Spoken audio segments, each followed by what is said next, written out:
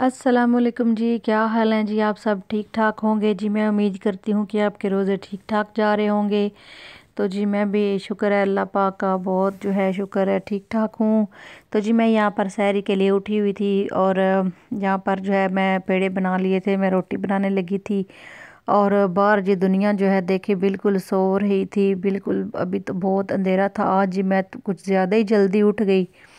तो अब मैंने कहा कि आराम सुकून से जो है रोटी पका लेती हूँ। अभी हस्बैंड मेरे सो रहे थे। तो जी मैं तो कुछ दो तीन घंटे ही पहले जो है वो मैं जाग गई और उठ गई फिर रोटी पकाने के तो जी इधर जो है मैंने पेड़े कार के और देखे जी बेलनी मेरी बिल्कुल तैयार थी। मैं रोटी उसके ऊपर बेलना शुरू कर दी थी। मुझे जी हाथ से रोटी बनानी नहीं आती। बस जी मैं क्या करूँ? बड़ी कोशिश की है लेकिन नहीं आती। तो जी मैं जो है इधर जो है एक घंटा पहले तो टाइम जो है वो बढ़ चुका है इनका। तो उस टाइम ने एक घंटे ने जी मेरी ज़िंदगी जो है वो दरम भरम की हुई है। ना तो मुझे नमाज़ के टाइम का पता चलता है, ना ही सहरी के टाइम का, ना अफ्तारी के टाइम का। गर्मियों में जी ये एक घंटा इनका बढ़ जाता है, सर्दियों में कम हो जाता है। तो एक दफ़ा जी सारी रूटीन फिर से ख़राब हो गया इसलिए आज मैं सैरी करने के लिए उठी, बहुत ज़्यादा जल्दी उठ गई थी। तो मैं क्या चलो फिर खैर, ये बस उठ गई तो अब मैं बना ही लेती हूँ, फिर सोना क्या है, अगर सो गई तो फिर रोज़ा जो है ना वो बस छुट्टी हो जानी है। तो जी, इधर देखे, फिर अभी हस्बैंड को मैंने नहीं उठाया था, मैंने कहा उनको बाद में जगाऊँगी। तो अभी जो है ना, पूरी तरह से सारी चीज़ें तैयार कर लूँ। तो यहाँ जी रोटी देखे, बड़ी खूबसूरत बनी थी जी। देखिए बिल्कुल सुरख रत्ती, लाल पक चुकी थी। साथ में जी मैंने दूध जो है वो रख दिया था चाय के लिए। और देखे जी, रोटी मेरी बड़ी बिल्कुल तैयार थी यहाँ पे।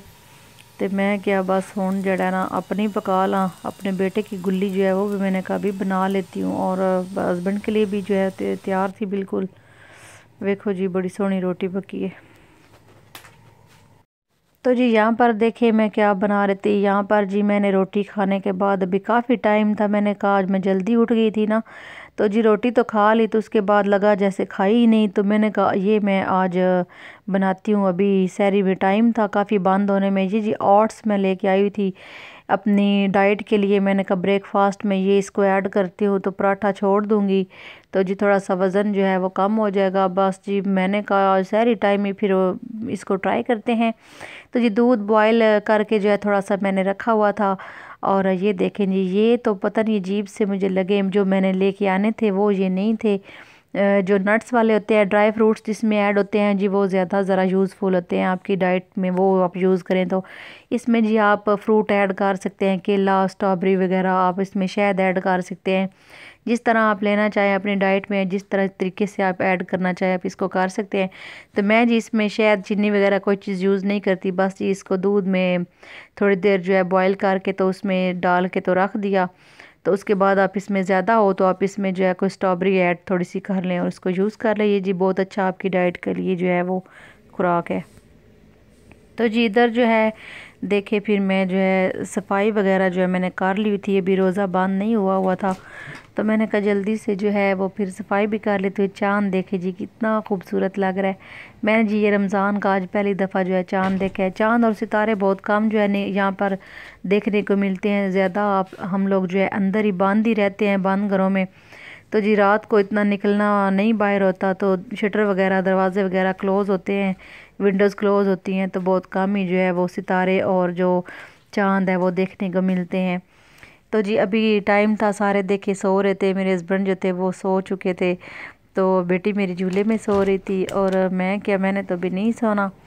तो देखे जी, बाहर मौसम देखे आप, बड़ा ठंडा ठंडा था, हवा ठंडी चल रही थी, चाँद मुझे बड़ा प्यारा लग रहा था। आज मैंने पहली दफ़ा देखा इसको। जब से मैं इधर आई हूँ, रमज़ान का ये पहला चाँद आज मुझे नज़र आया।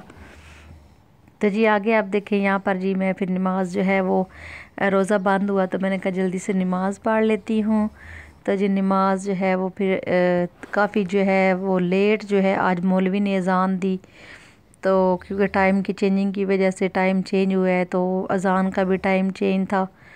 तो सहरी जो है वो लेट बंद हुई है आज तो मैंने कहा जल्दी से पढ़ लेती हूँ। देखिए जी, ये आवाम जो है सो रही है, बिल्कुल फ़िक्र, कोई टेंशन नहीं है तो जी, यहाँ पे सुबह का आगाज़ हो चुका था और ये जी अपना नाश्ता लेने के लिए आ गया था। इनको जी मैं रोटी वगैरह डालती हूँ, चावल वगैरह डालती हूँ तो ये जो है आवाम, ये मेरी आवाम है जी। बस जी, मुझे अच्छे लगते हैं, ये बस थोड़ी सी रौनक हो जाती है, अच्छे लगते हैं और ऊपर से रोटी वगैरह जो है, जो भी बची कुची हो, वो भी यूज़ हो जाती है। तो जी आप देखें, यहाँ पे बादल काले शाह बिल्कुल जो है आ गए थे। बारिश बिल्कुल स्टार्ट होने वाली थी। तो एक दफ़ा तो ऐसे जो है वो बादल चमके। मुझे जी इस बादलों की गरज चमक से बड़ी डर लगता है। तो जी ये देखें, कितना नीचे सब्ज़ा प्यारा लग रहा है। तो हल्की फुल्की बूंदा बांदी शुरू हो चुकी थी। तो आज मुझे बादल जो थे बड़े खौफनाक लग रहे थे। ऐसे लग रहा था जैसे ओले पड़ेंगे। तो क्योंकि ओले वाले जो जब ओले पड़ते हैं तो वो बादल जो है बिल्कुल ब्लैक होते हैं और वो गरजते चमकते भी हैं। तो मुझे शक था और वही हुआ जिसका डर था। ओले जी पड़े फिर, धूमधाम से पड़े फिर। आप आगे देखें, ये देखें। पहले तो जी ये देखें छोटे छोटे पड़े हैं, आप आगे भी देखेंगे कि कितने पड़े हैं फिर। तो बिल्कुल जी ठंड जो है वो बन चुकी थी, बड़ी सर, सर्दी जो है वो दोबारा जो है बन गई। ठंडी हवा चल रही थी। बहुत तेज़ बारिश हो रही थी। ये देखें इतनी तेज़ बारिश थी, साथ में ऐसे बादल जो हैं, गरज चमक रहे थे। इनकी जी गरज चमक से जो है ना, मुझे बड़े डर लगता है। मैं पाकिस्तान में होती थी तो मैं भाग जाती थी, अंदर कमरे में छुप जाती थी। तो बस इसकी चमक से मुझे बड़ा डर लगता है। तो मैं जी बस अंदर भाग आई मैं भी। जब वो बादल गरजे तो मैं अंदर आ गई और अंदर से विंडो में से जी मैं ये वीडियो शूट कर रही हूँ फिर। तो देखें बड़े खौफनाक बादल हैं। तो यहाँ पर देखें मैंने सारी सफ़ाई वगैरह कर ली थी। तो बेटा मेरा फ़ोन पे लगा हुआ था। तो एज़ल जो है, मेरी बेटी, वो सो गई हुई थी झूले में। ये देखें जी, मैं आपको दिखाती हूँ। ये माशाल्लाह से सो रही थी। तो बाहर जी, बड़ी सख्त सर्दी बन गई हुई थी। यहाँ पे सफ़ाई वगैरह मैंने सारी कर ली हुई थी। बस जी, ये देश परदेश कलम कली ज़िंदगी जो है, बस इसी तरह से जो है, वो गुज़रती है हमारी। तो ये देखें जी इस तरह का मौसम जो है वो अगर हो तो अपनों की याद बहुत आती है। जी। मुझे जी पाकिस्तान बड़ा ही याद आता है मैं कहती हूँ कब वो दिन आएगा जब मैं पाकिस्तान जाऊँगी। बस जी मैं तरस रही हूँ पाकिस्तान को जाने को। तो जी आगे देखें अब यहाँ पर जी ये देखें ओले पड़ रहे हैं। यहाँ पर देखें गिर रहे हैं और इस कदर शदीद बारिश हो रही है तेज़ मैं कहती हूँ कि हज़ार पे स्पीड थी बारिश की और ओले साथ में इस कदर आवाज़ कर रहे थे कि इनकी मैं कहती हूँ गूंज बहुत तेज़ थी। और जी अच्छे खासे ओले पड़े फिर तो ये देखें नीचे जो है वो सफ़ेद चादर बिक चुकी थी और बारिश भी लगातार अभी लगी हुई थी। आ, बस ये शुक्र है अल्लाह का कि यहाँ पर रुक गए थे। मुझे जी बड़ा डर लगता है इनसे।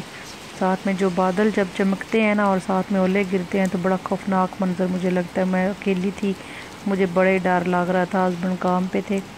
अल्लाह खैर ही करे। तो जी यहाँ पर देखें, बस ये ठंड बहुत ज़्यादा बन चुकी है। अब ये ठंड जो है, दो हफ़्ते तो चलेगी।